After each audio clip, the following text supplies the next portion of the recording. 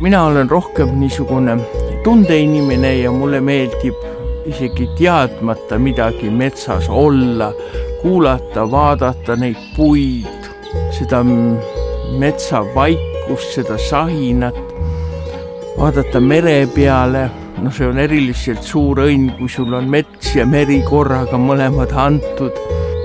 vahel on tunne, et mis on õnne jaoks vaja, lihtsalt mine metsa. Kui sa asutad metsa minema ja tahad teada, kus on RMK teabepunktid, vaata RMK koduleheküljelt